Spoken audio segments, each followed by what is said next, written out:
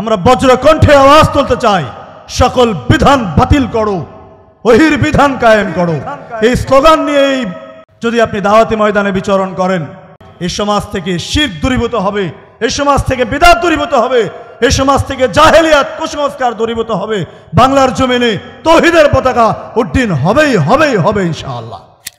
Chain of command যদি আপনি রক্ষা না করেন, যত দক্ষ কর্মী হন না কেন যত এলমের দিক দিয়ে আপনি পারদর্শী হন না কেন, যত আপনি নিবেদিত প্রাণ কর্মী হন না কেন, শৃঙ্খলা ভঙ্গের কারণে সংগঠন ক্ষতিগ্রস্ত হবেই হবেই হবেই। আপনি যদি নেতার আনুগত্য থেকে মুখ ফিরিয়ে নেন, তাহলে সেই দায়িত্বশীল, যেই কর্মী যত দক্ষই হোক না কেন, ওই সংগঠন আদৌ মজবুত সংগঠন হবে না। নেতার প্রতি আনুগত্য, আনুগত্যশীল কর্মী যে সংগঠনে যত বেশি হবে অবশ্যই সেই সংগঠন মজবুত হবে, শক্তিশালী হবে। ওই সংগঠন সীসাডালা প্রাচীরের নেই বাতিলের বিরুদ্ধে দৃঢ়ভাবে দাঁড়িয়ে গিয়ে সমাজ সংস্কারের ময়দানে সফলতার দ্বারপ্রান্তে যেতে সক্ষম হবে ইনশাআল্লাহ। নেতৃত্বের যোগ্য নেতার ছয়টি গুণ প্রয়োজন। এক, সাহসিকতা। দুই নম্বর, দায়িত্বানুভূতি। তিন নম্বর, দূরদর্শিতা। চার নম্বর, প্রজ্ঞা। পাঁচ নম্বর, আমানতদারিতা। আহলেদিস আন্দোলন বাংলাদেশ।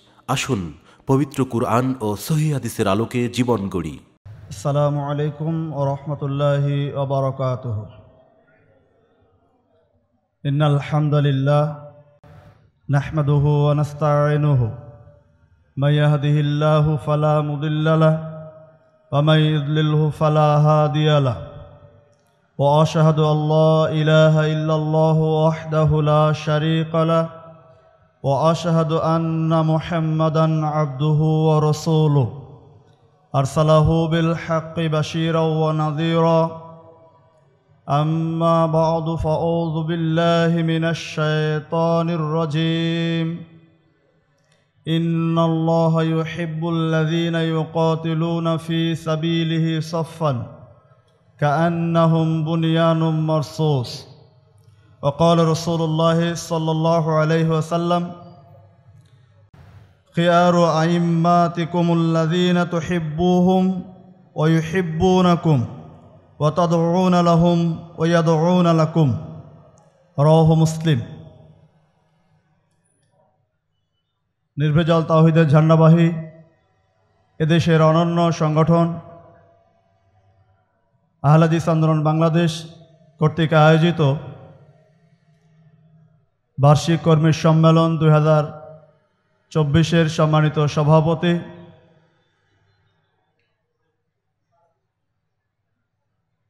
উপস্থিত আহলাদিস আন্দোলন বাংলাদেশ ও বাংলাদেশ আহলাদিস যুব সংঘের কেন্দ্রীয় নেতৃবৃন্দ।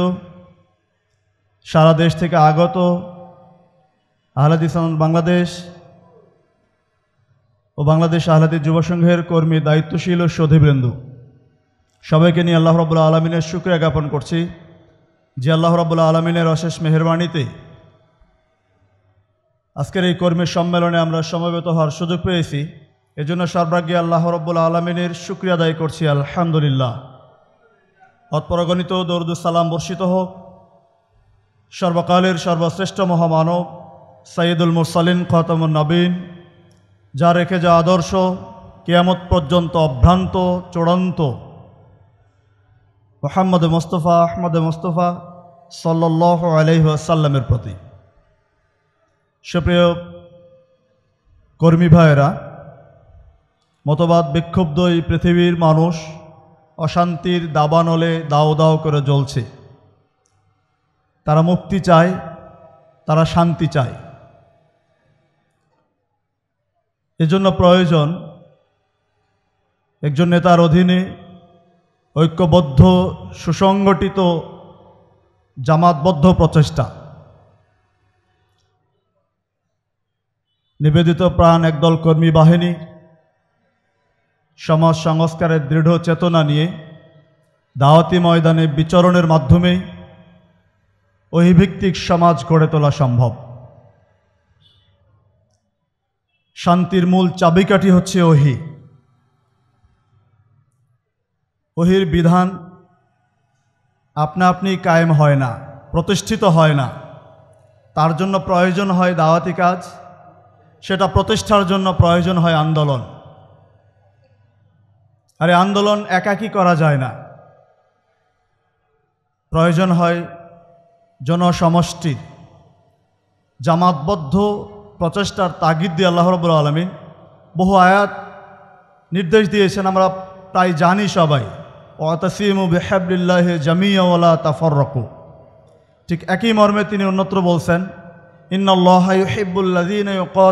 ফি সাবিলিহি সাফফান কাআন্নাহুম বুনিয়ানুম মারসুস। আল ইমরান একশো তিন আয়াতের প্রথমে আল্লাহ বলছেন, তোমরা আল্লাহ রজ্জুকে ধারণ করো। সুদৃঢ় হস্তে ধারণ করো, পরস্পর বিচ্ছিন্ন হয়ে না। সুরা সফরে আয়াত আল্লাহ বলছেন আল্লাহ রব্বুল ওই সমস্ত ব্যক্তিদেরকে ভালোবাসেন, যারা সীসা ঢালা প্রাচীরের ন্যায় ঐক্যবদ্ধ হয়ে আল্লাহ রাস্তায় সংগ্রাম করেন। সুতরাং জামাতবদ্ধ প্রচেষ্টা মাধ্যমেই বাতিল দূরীভূত করে অহিভিত্তিক সমাজ গড়া সম্ভব। দুর্বল মানুষ দিয়ে যেমন বড় কিছু আশা করা যায় না, তেমনি দুর্বল সংগঠন দিয়ে লক্ষ্য উদ্দেশ্য হাসিল করা সম্ভব নয়। এই জন্য প্রয়োজন সাংগঠনিক মজবুতি। সাংগঠনিক মজবুতির জন্য কিছু গুণ আবশ্যকীয়। এক, যোগ্য নেতা নির্বাচন করা।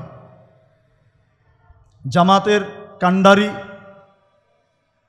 যত যোগ্য হবেন সেই জামাত তত মজবুত হবে। নেতৃত্বের যোগ্য নেতার ছয়টি গুণ প্রয়োজন। এক, সাহসিকতা। এটা দু ধরনের হতে পারে।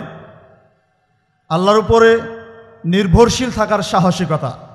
যে কোনো সংকটময় মুহূর্তে বিচলিত না হয়ে আল্লাহর উপর পূর্ণ ভরসা নিয়ে সাহসিকতা প্রদর্শন করা। যেমন রসল্লাহ সাল্লাহ সাল্লাম হিজরতের সময়ে অবকরকে সাথে নিয়ে তিনি যে সৌরগিরি গুহায় অবস্থান করেছিলেন শত্রু বাহিনী একদম কাছে চলে আসার পরেও আবু বকর রাজি আল্লাহ তাআলা বিচলিত হলেন। কিন্তু আল্লাহ রসুল বলেছিলেন, লা তাহদান ইন্নাল্লাহ মাহানা চিন্তিত হয়েও না, নিশ্চয় আল্লাহ আমাদের সাথে আছেন।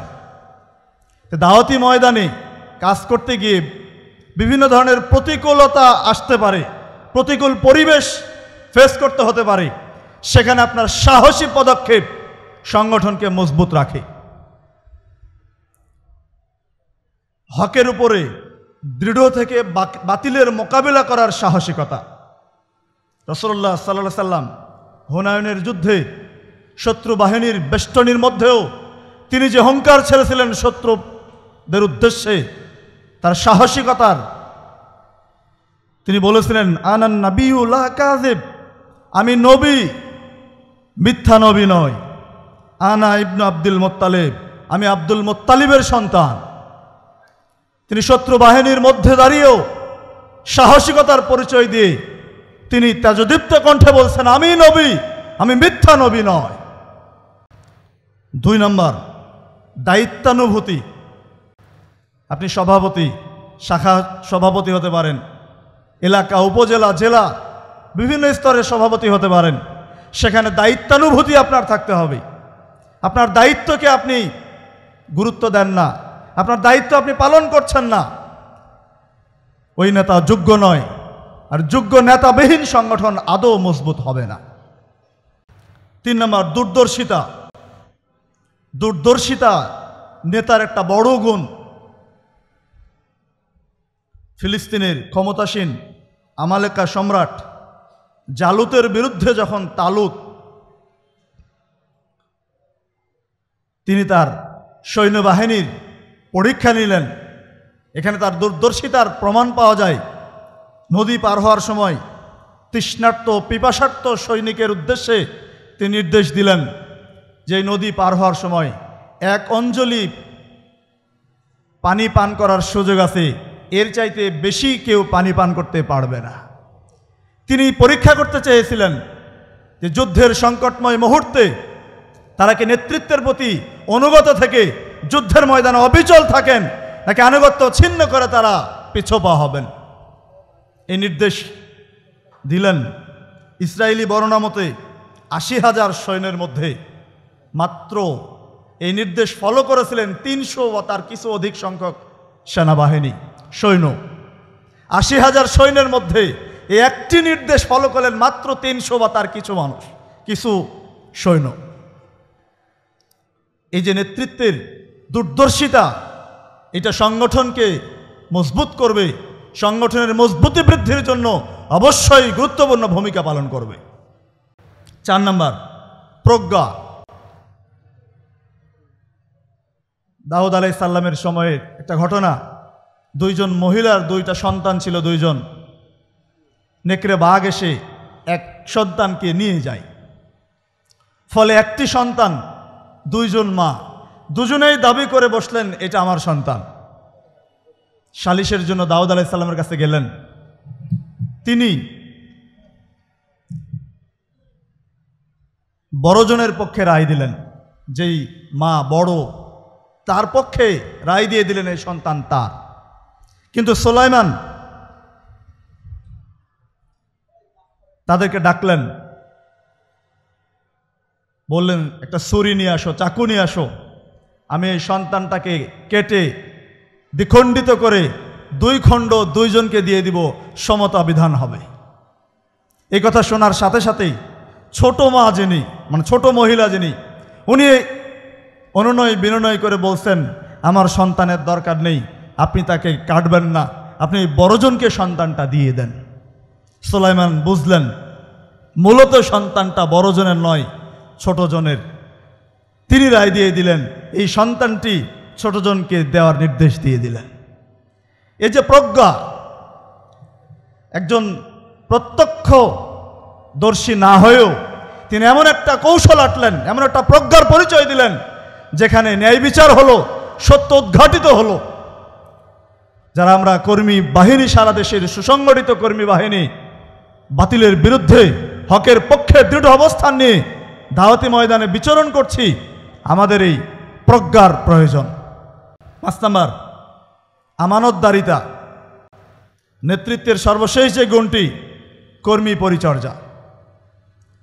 আমি দায়িত্বশীল হিসাবে, আমি নেতা হিসাবে, আমি সভাপতি হিসাবে আমার কর্মীর পরিচর্যা আমাকে করতে হবে। তাদের সাথে আমাকে সম্পর্ক ভালো রাখতে হবে, তাদের সুখে, দুঃখে খোঁজখবর রাখতে হবে, তার পাশে থাকতে হবে। শুধু বকাঝকা করবেন, কর্মী পাশে থাকবে না। বলছিলাম, সাংগঠনিক মজবুতি বৃদ্ধির প্রথম গুণটি যোগ্য নেতা নির্বাচন করা। দুই, নেতার আনুগত্য করা। আপনি যদি নেতার আনুগত্য থেকে মুখ ফিরিয়ে নেন তাহলে সেই দায়িত্বশীল, যেই কর্মী, যত দক্ষই হোক না কেন, ওই সংগঠন আদৌ মজবুত সংগঠন হবে না। নেতার আনুগত্য ছাড়া সংগঠন কখনো শক্তিশালী হয় না। যে জামাত তার নেতার প্রতি যত বেশি অনুগত, সে জামাত তত বেশি মজবুত ও শক্তিশালী হয়। নেতা যদি পরামর্শের ভিত্তিতে কোনো সিদ্ধান্ত প্রদান করেন, সে সিদ্ধান্ত যদি আল্লাহ রব্বুল আলমিন রসল্লা সাল্লামের নির্দেশের সাথে সাংঘর্ষিক না হয়, তাহলে সে সিদ্ধান্ত গ্রহণ করতে হবে, গ্রহণ করতে বাধ্য। আল্লাহ রসুল সাল্লাম বলছেন, মান অত আনি ফকদ অত আল্লাহ। যে ব্যক্তি আমার আনুগত্য করল, ওই ব্যক্তি আল্লাহর আনুগত্য করল। ওমান আসনি ফকদ আস আল্লাহ। যে ব্যক্তি আমার অবাধ্য হলো, ওই ব্যক্তি আল্লাহর অবাধ্যতা করল। ওমান অত আমিরি ফকত অত আনি যে ব্যক্তি আমার আমিরের আনুগত্য করল, ওই ব্যক্তি যেন আমারই আনুগত্য করল। ওমান অস আমিরি ফকত অস আনি যে ব্যক্তি আমার আমিরের অবাধ্য হলো, ওই ব্যক্তি যেন স্বয়ং আমারই অবাধ্য হলো। সুতরাং নেতার প্রতি আনুগত্য, আনুগত্যশীল কর্মী যে সংগঠনে যত বেশি হবে, অবশ্যই সেই সংগঠন মজবুত হবে, শক্তিশালী হবে। ওই সংগঠন সীসাঢালা প্রাচীরের নেই বাতিলের বিরুদ্ধে দৃঢ়বোধে দাঁড়িয়ে গিয়ে সমাজ সংস্কারের ময়দানে সফলতার দ্বারপ্রান্তে যেতে সক্ষম হবে, ইনশাআল্লাহ।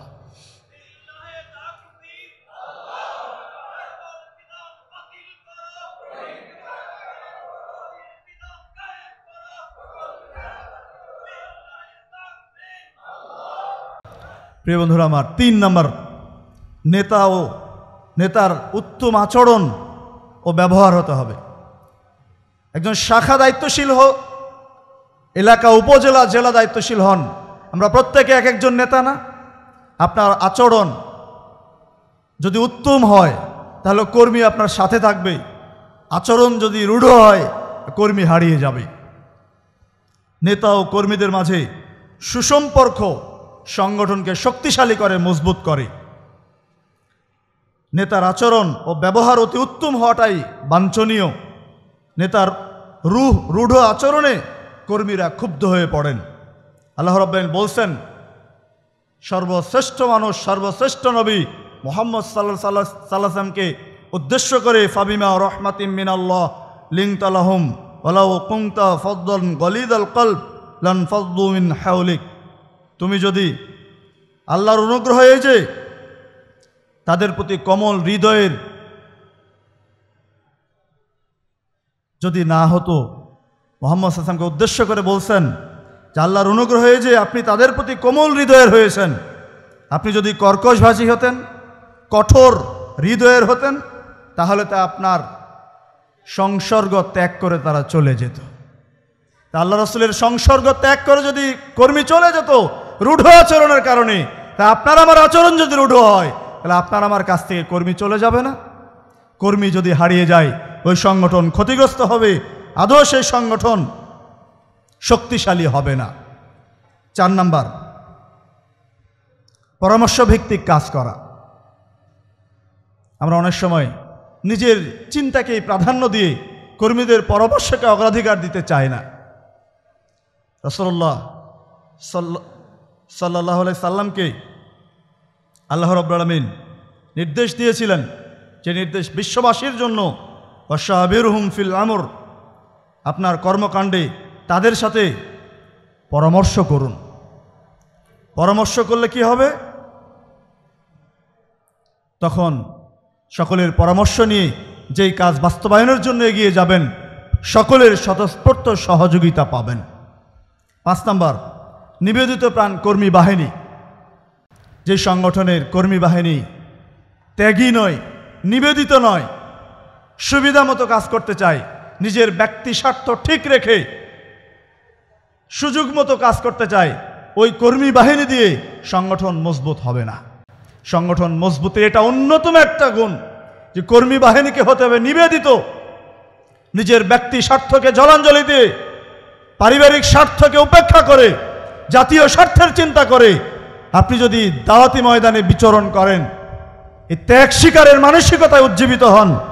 তাহলে অবশ্যই আপনার মাধ্যমে এই সংগঠন মজবুত হবে। ছয় নম্বর, যুগোপযোগী পরিকল্পনা প্রণয়ন এবং কর্মপদ্ধতিতে যথাযথ অনুসরণ। আপনি দাওয়াতি কাজ করছেন পরিকল্পনা ঠিক নেই। আপনি দাওয়াতি কাজ করছেন, কর্মপদ্ধতি ফলো করেন না। আপনি কীভাবে তালিমি বৈঠক করবেন, কীভাবে মাসিক বৈঠক পরিচালনা করবেন কীভাবে কর্মী গঠন করবেন? কীভাবে কর্মীর মান উন্নয়ন করবেন? সব কিছু গঠনতন্ত্রে আছে না? আছে না নাই? কিন্তু এই গঠনতন্ত্র যদি আপনি আমি ফলো না করি, আমি আমার মতো চলতে চাই, তাহলে একজন, একটা শাখার যদি দশজন দায়িত্বশীল, দশজনের চিন্তা নিয়ে দশ রকমভাবে চলতে চাই, তাহলে ওই সংগঠন কি মজবুত হবে? প্রত্যেকের দায়িত্ব হবে কর্মপদ্ধতিকে ফলো করা। সেখানে যে কর্মসূচি প্রণয়ন করা হয়েছে সেইটাকে ফলো করা, তবেই সংগঠন মজবুত হবে। সাত নাম্বার, দায়িত্বশীলদের যোগ্যতা অনুযায়ী দায়িত্ব বন্টন করা। এইটা একটা বড় গুণ। একজন দায়িত্বশীলের ভার বহন করার ক্ষমতা আছে বিশ কেজি।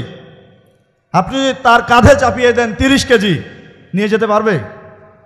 নিয়ে যেতে পারবে? ওই কর্মী কিন্তু এই তিরিশ কেজি ফেলায় চলে যাবে। কিন্তু ওই কর্মীর কাঁধে যদি আপনি বিশ কেজি দেন ঠিকই সে গন্তব্যে নিয়ে যাবে। আপনি যদি কর্মীর যোগ্যতা অনুযায়ী তাকে দায়িত্ব না দেন, অধিক চাপিয়ে দেন, তাহলে সংগঠন ক্ষতিগ্রস্ত হবে, সংগঠন মজবুত হবে না। আট নম্বর, দায়িত্বশীলদের যথাযথ মূল্যায়ন ও দায়িত্ব সম্পর্কে জবাবদিহিতা।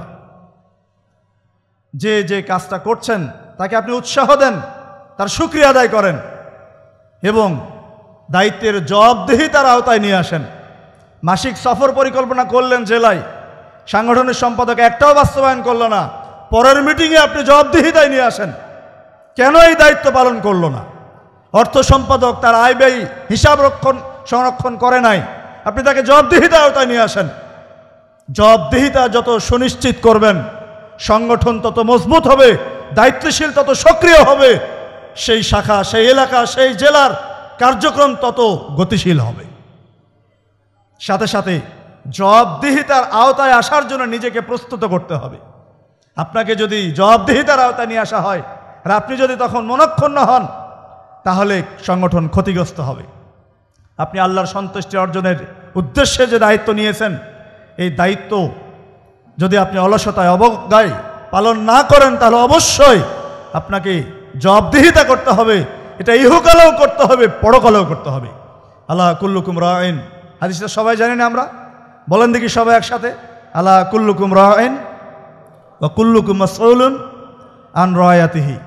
তোমরা প্রত্যেকেই দায়িত্বশীল, প্রত্যেকেই স্ব স্ব দায়িত্ব সম্পর্কে জিজ্ঞাসিত হবে। সভাপতিকে আপনি ভুল ব্যাখ্যা দিয়ে বোঝাতে সক্ষম, কিন্তু আল্লাহর কাঠগড়ায় যখন দাঁড়াবেন, বোঝাতে পারবেন? সুতরাং নিজের দায়িত্বের জবাবদিহিতার চেতনায় উজ্জীবিত হন।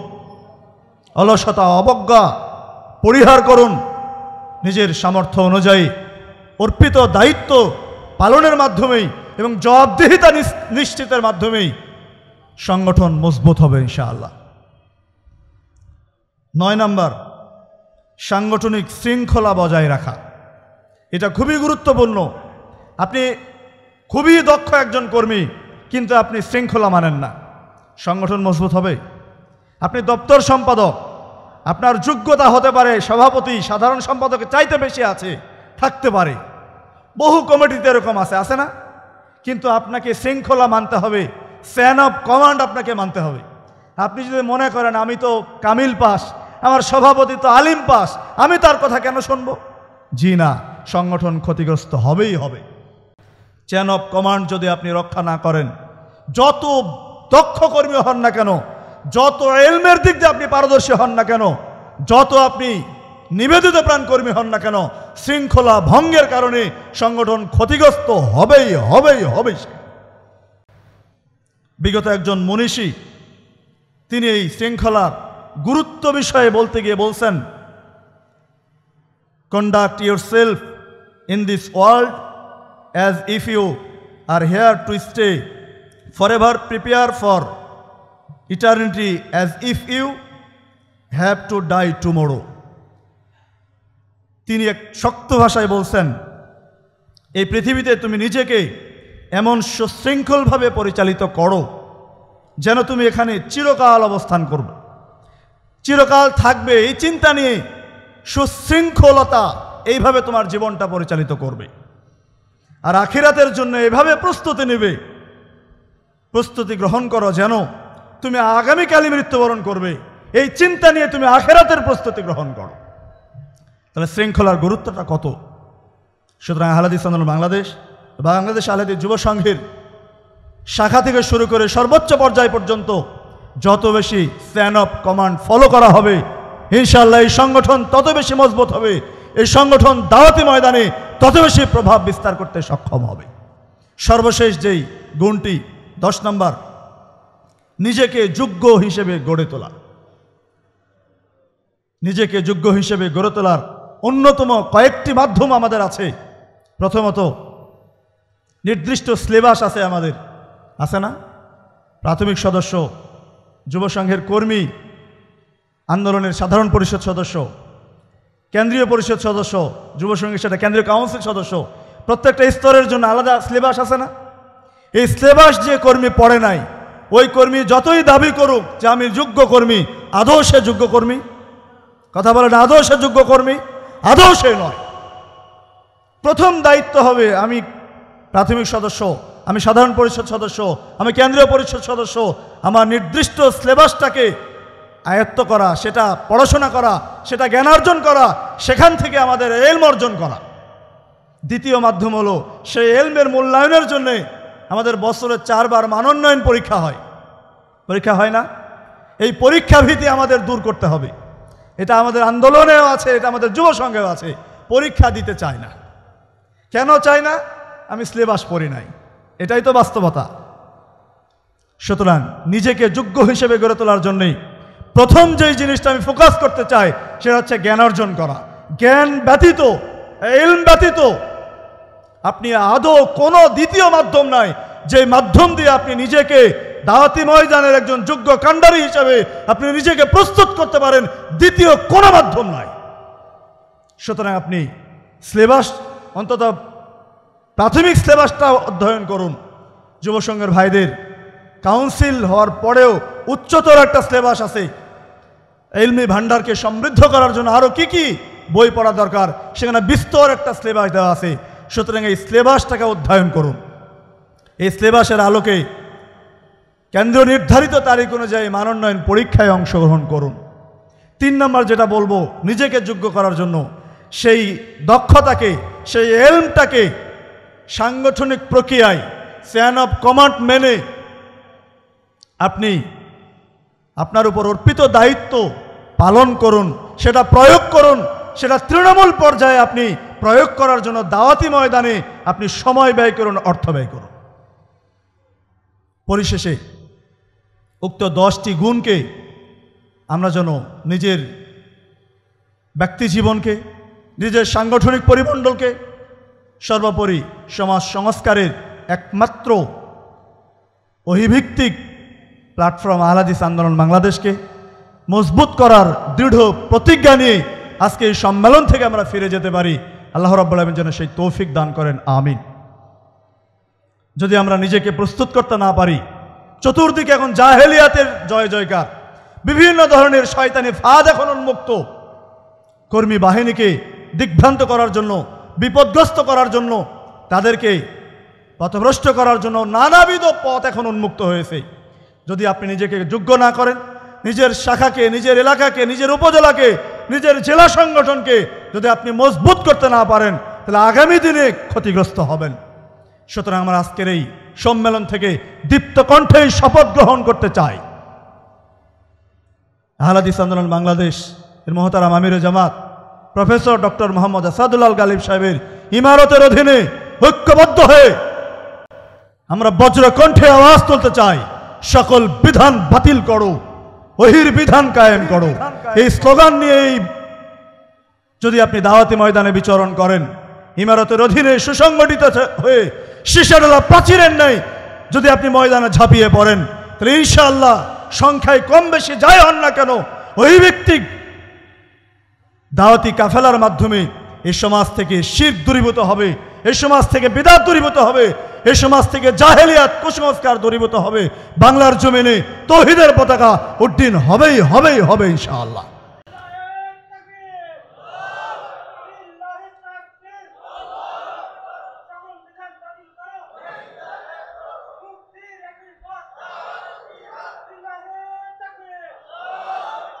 পরিশেষে সবাইকে আন্তরিক মোবারকবাদ জানাচ্ছি, দোয়া করছি। আল্লাহ রব্বুল আলমিন আমাদের এই দুই দিনব্যাপী কর্মী সম্মেলনকে যেন কবুল করে নেন। যারা আমরা দেশের বিভিন্ন জেলা থেকে এসেছি, অর্থ ব্যয় করে, সময় ব্যয় করে, শ্রম দিয়ে বহু মুরব্বী এসেছেন, অনেকেই শরীর দুর্বল, অসুস্থ তবু মোহব্বতে এসেছেন। আল্লাহ যেন সকলের এই সময়, শ্রম, মেধা, অর্থকে কবুল করে নিয়ে আখেরাতে জান্নাতুল ফেরদাউসের মেহমান হিসেবে কবুল করে নেন। আমিন। বাংলাদেশ আলাদি যুব সংঘের কেন্দ্রীয় সংগঠনের পক্ষ থেকে সবাইকে আন্তরিক ধন্যবাদ জানিয়ে আজকের আলোচনা এখানে শেষ করছি। আকুলু কৌলি হাজা ওস্তাক ফিরুল্লাহ আলাইকুম সাল মুসলিমিন। আসসালামু আলাইকুম ও রহমতুল্লাহি ওবরাকাতুহ